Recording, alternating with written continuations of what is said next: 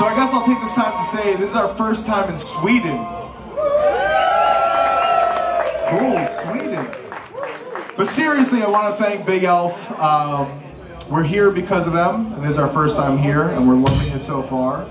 So give it up for Big Elf. And give it up for Anadale. He's taking his shirt off, he's getting a new guitar, he's doing a bunch of shit up here. He's doing a lot of stuff right now.